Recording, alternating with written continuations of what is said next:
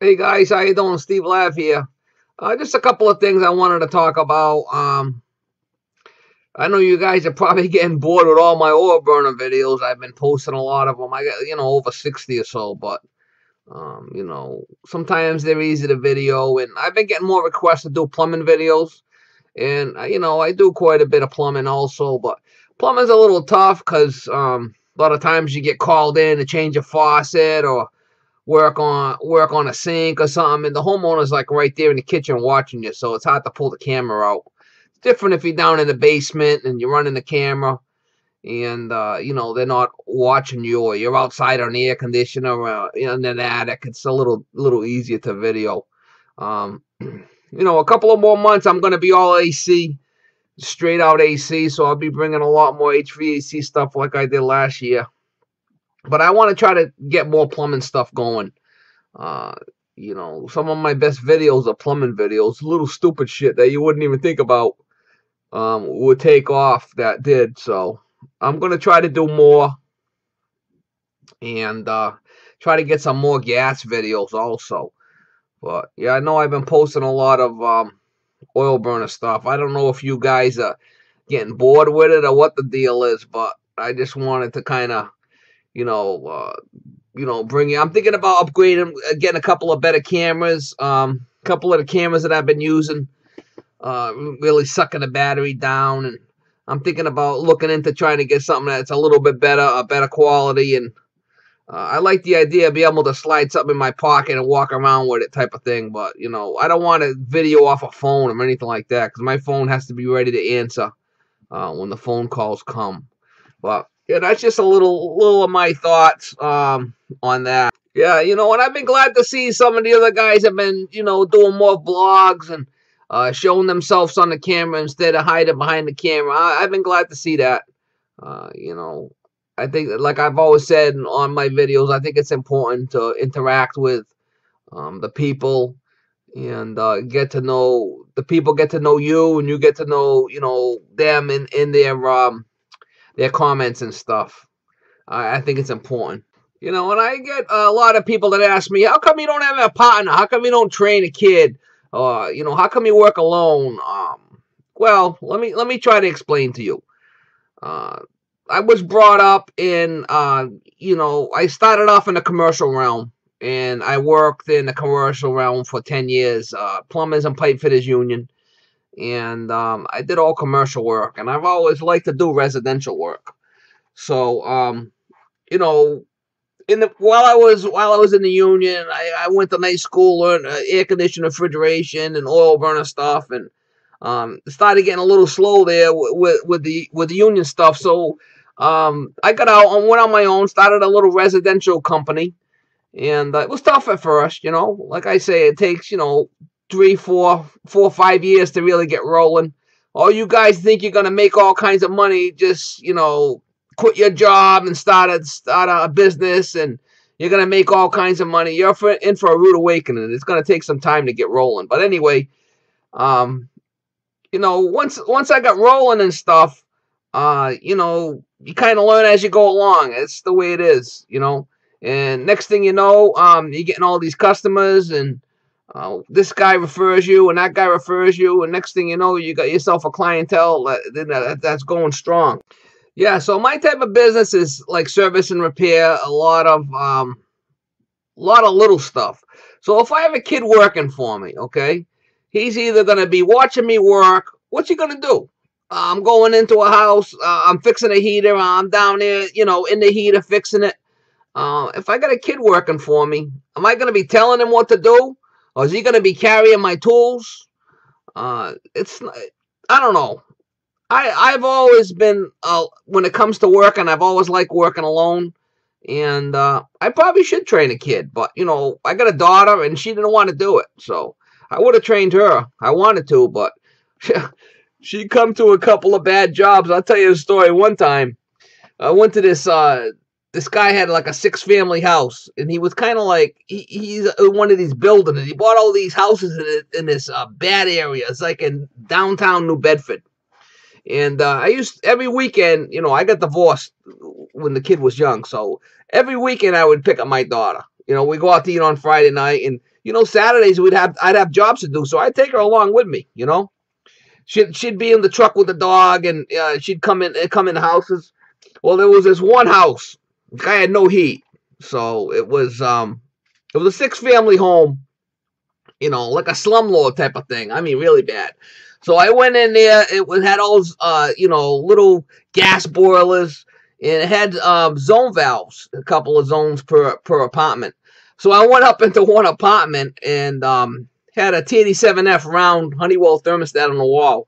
So I wanted to check the thermostat to see, you know, the thermostat was calling because I went downstairs and, uh, you know, didn't seem like a thermostat. I went up there to the third floor. My daughter come up uh, with me and I took the thermostat off the wall and I took the two little, the three little screws off to take the thermostat off, right? And about 20 roaches, little tiny roaches, ran across the flipping wall, all different directions. I dropped the thermostat my daughter, my daughter's eyes were as big as saucers. They, she, you know, she never, I never had roaches in my house or nothing. Yeah, 20 little roaches running across the flipping wall in all directions. I'll never forget that. I dropped the thermostat right there and we left. I said, you got to get this cleaned up. My, my daughter never forget that. A couple of bad, um, um, you know, drain cleanings. Drain cleanings are bad. I just do laterals and stuff. Somebody's got a kitchen sink backed up or a, a, bathroom sink. You know, I got little snakes. I got the big snakes, but I don't like to do main drains. I don't. I got a. If there's a main drain, uh, I call the guy that does just drains. But anyway, she come to a couple of bad uh, drain cleanings with me, and that shit it comes out of there is like black muck. Any of you guys that ever worked on drains, you know that snake comes out when it's black, like black mud. A couple of bad drain cleanings and things like the roaches and oh some bad oil burner cleanings that she went on with me you know black soot everywhere and oh yeah she's like i'm all set with that shit. She don't want nothing to do with my job. But it's too bad because you know well she's a female you know? A lot of females don't like to do that type of stuff you know? She likes working with paperwork and uh, she does some some stuff for me uh you know in the office and stuff but yeah that's the way it is you know? Uh too bad but that's the reason why I don't have a kid because I'm kind of like a hands-on guy. If, if he, I don't know. If it was my kid, I would train him, but that's the deal with that. Oh yeah, the little story about my dog. This is the deal. This is my partner for years. I gotta tell you the story about my dog. I got this little Jack Russell Terrier uh, back when my kid was young. I don't know. My kid was probably, I don't know, 10 years old when we got this little dog. The thing was a little tiny thing, size of a, a Nintendo 64 controller. She's she was tiny. She's only like 13 pounds uh, full grown. So I bought this dog, and um, you know I left her in the bathroom with a gate with paper down. She was only a puppy, and I figured I'd go to work and stuff, and and she would she'd stay in. And now Jack Russell's a little smart little dog, so she she must have jumped on the toilet, jumped on the sink, and then dived over the flipping uh you know brace I had across the the door. It was one. It was about I don't know, like two and a half feet high, a regular gate like for a kid. The dog jumped right over that. So anyway, so I was working. Um, it was summertime, and I was working down at this this house right on the water. So I said I'm gonna bring the dog with me and uh, hook her on, you know, because it was all grass over there and stuff. So she can't get in trouble over there. So I started taking the dog to work with me um, because she was making a mess out of the house. So um, ever since then, the dog came to work with me in my truck every day um, for like 12 and a half years. That dog was with me day and night. Uh, take the dog with me. Had a little, you know, a little spot for her on the side between me and the side door, and she'd look out the window in the summertime and every, you know, I was always known for for the guy with the little dog in the truck. She came with me. She'd protect that truck. I'd go in house. Anybody come around, she'd be growling. She's only a little shit, you know, but she's a little jack. She's a she's a little spicy little thing. Very very intelligent dog. Smart as a whip. I love the little dog. I always call her the the the one that never left. The female that never left me. she's still with me to this day. She's 15 now, the little dog. But this is what happened. After 12 and a half years, she decided she wanted to retire. She had enough of that going to work with me stuff. She wanted to just sleep in the morning. She didn't want to go to work no more.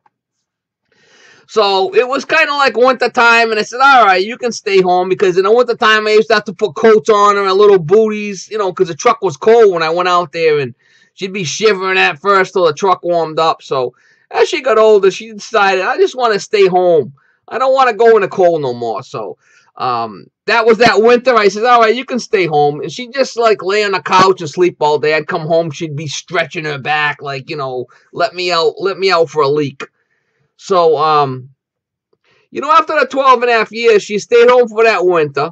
And then it started getting warm as springtime came. It was a 70 degree day. I said, hey, listen, you're coming back to work. You know, it's not cold no more time for you to get your ass back to work with me. And, uh, you know, everybody's asking about you. Where's the dog? Where's the dog? Hey, you are sleeping at home all day. So I took her to this. I took her on a drop to 70. It's beautiful out. 70, 72 degrees out. No wind.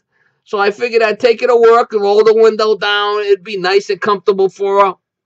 Take her in the truck, and I'm doing this. Uh, I had to do something in the bathroom, change a guy's sink or uh, remodel it, uh, change his toilet in the sink, and work on something for this guy. So she's in the truck uh, while I'm doing the work in the house. I'm in there for a half an hour, 45 minutes. I come out, right? She goes in. Now, she's on a leash in my truck. I got a hook so she can't run out if I open the door. She goes in the back of the truck, pulls all the cardboard boxes, you know, from from the shelves off and starts ripping them all up, demolishing all my all my stuff in the truck. So I come in uh, the truck, I look, I said, "What the hell are you doing, you man? You're ruining the flipping all this stuff. What's going on?" So I, I, you know, I shortened up her leash so she couldn't get in the back there, in the back of the truck. And I hollered at her a little bit. She just kind of looked at me. I went in the house. I come back out like you know, 20 minutes later. She jumped up on the dash, ripped all my phone books up, like rebellion, because I took her to work, you know. So I got all pissed off. I said, "All right, that's it. You win. You can stay home." So the flipping dog is, is home in diapers now for like two years. I got to keep changing the diapers because she leaks now. So the vet says to me, the vet says to me, oh, you know, this dog will probably live till she's 20. She's in perfect shape. Uh, you know, I, I take her in for a tune-up every every year or so. She got these little warts that grow on her. I take her in for a tune-up. They clean all the warts off her, and uh, yeah, she's something else, man. That's my little dog. The one that never left. All right. Anyway, guys, hey, listen. I'm gonna do a little video on my dog. Uh, you know, I do. I'm gonna. I'm think, been thinking about doing a little video on her, and you know, she's she's 15 now, and yeah, she probably looks like she's six or something. She's a good little shit, you know. Uh, if people could be more like dogs, the world would be a better place. So that's the way I feel about dogs. I like dogs you know, some sometimes I, you know, joke around and uh, come across a, you know, a hot ass, but I'm not, I'm not really a hot ass. But um, anyway, hey, I just want to thank all my loyal subs, subs and subscribers for uh, the comments, and um, you know, I really do mean that. I really do appreciate uh, my subs and the comments and stuff and, and all if it wasn't for you guys, I wouldn't really be doing any of this stuff because it's a lot of flipping work for me, man. All these videos, excuse me, all these videos I load and edit and stuff. It's a lot of flipping work, a lot of work. But yeah, if it wasn't for you guys, I wouldn't even. Why? Why would? Why would I do it? For what reason? Uh, I don't need to, you know. But thanks thanks a lot for you know all the comments and all the feedback.